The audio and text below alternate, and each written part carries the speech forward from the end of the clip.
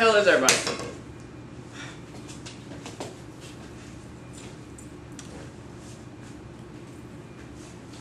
Alright, we're gonna do some notes today. I was gonna teach a lecture, but uh, I got this cold sinus type flu sort of headache type thing. It's been bothering me for like two, three weeks, and uh, vertigo's all out of whack. I had teachers meet this morning, my printer's broken, I couldn't get to my computer, and couldn't print out worksheets, so we just gonna watch a video today.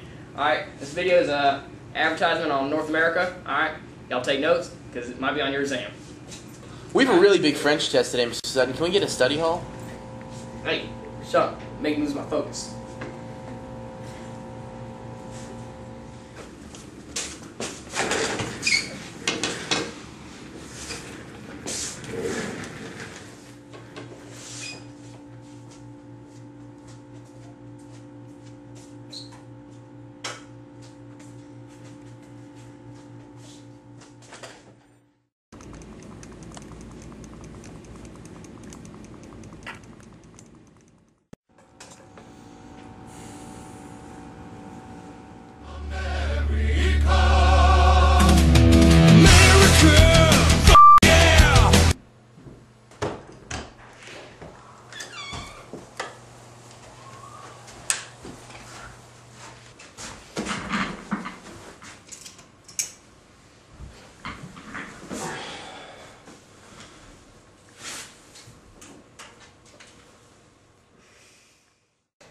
North America is filled with bustling cities, enticing tourist destinations, beautiful countrysides, immense, seemingly endless rolling hills, and the world's most wonderful beaches.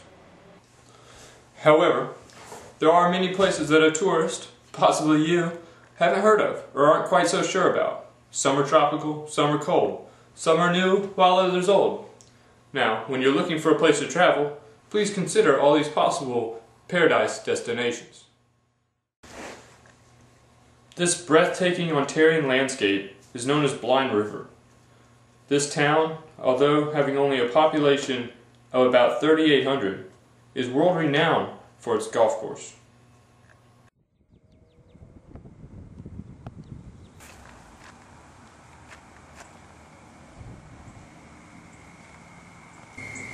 Our bustling Seven Church community is very fun and diverse.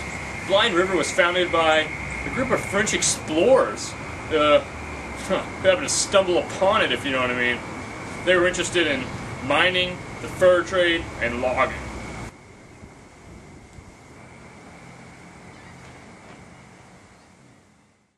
Now, recently, in 1955, some joggers found uranium deposits just outside of here, right over there. Now, uh, a couple years ago, 1983, we had a population explosion. When a uranium refinery claimed Blind River as its home. Three years later, in 1986, the blockbuster film Youngblood featured Blind River. Now, as all of a sudden, in our eyes at least, we were in the national spotlight.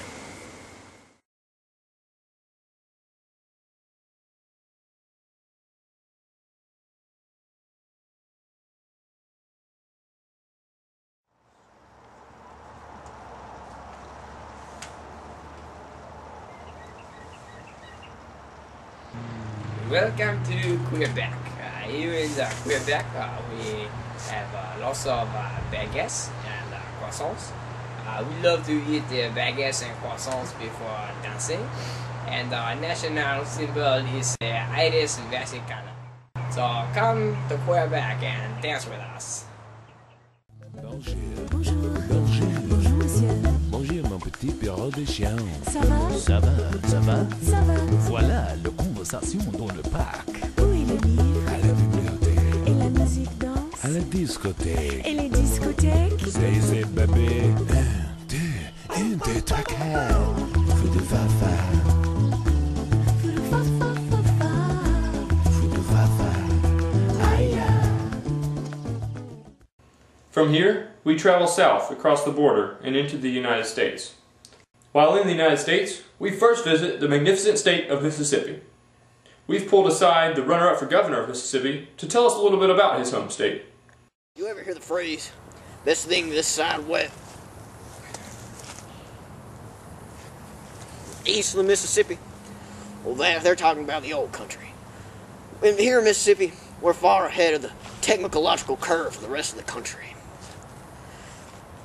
We figured that a higher obesity rate means more agricultural supply and demand. So, we have about a 30% obesity rate. That's 3 out of 10 for y'all who can percentificate numericals. We call these individuals successfully obese. Mississippi is also the home to uh, nine interstates, two of which are future interstates. We all just know that's a fancy term for space highways. We um we also host the uh, the USA International Ballet Competition. It's a little bit contradicting because it's the United States' international ballet thing. Uh, we got a river named after us. Um, it's Mississippi. You may have heard of it, makes us feel pretty special. Uh, we also have a surplus of country buffets, squirrel stew. So come and visit us here in the old country, Mississippi. Looking at a map, it can appear to be only 3 to 5 inches away, but in reality, it's many more inches than that. I'm talking, of course, about Utah. As you watch Mr. Galifianakis, please consider Utah as your next honeymoon paradise. Yeah, this is uh, this is where it all started. Mount Pleasant, Utah. Utah, sorry, nervous. Um, but yeah, this is uh, this is where it all started. This is probably what'll end. Me. Alright, let's go back.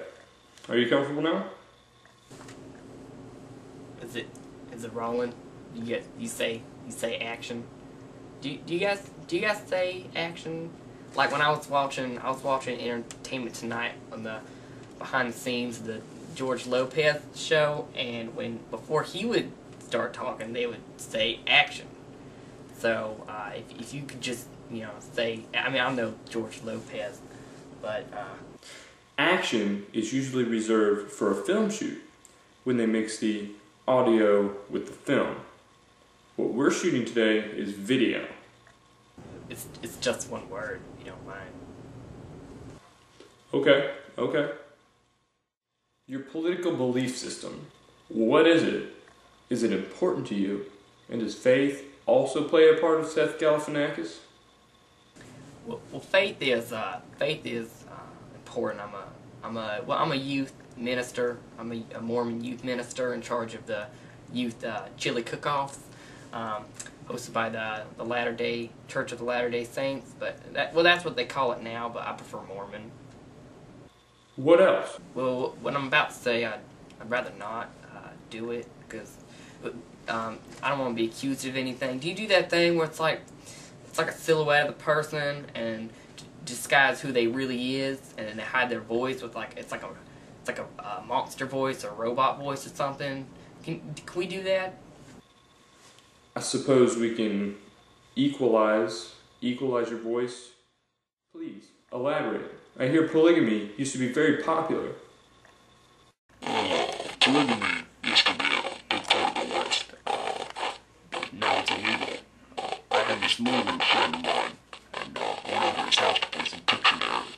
And uh, I I was like, well, uh, where's Kate? And he was like, Kate's at the grocery store. And I was like, well, who's that? And he was like, this is Janice. And I was like, well, who's Janice? And he was like, Janice is my little wife. It's, uh, it's called polygamy. He broke the law that day.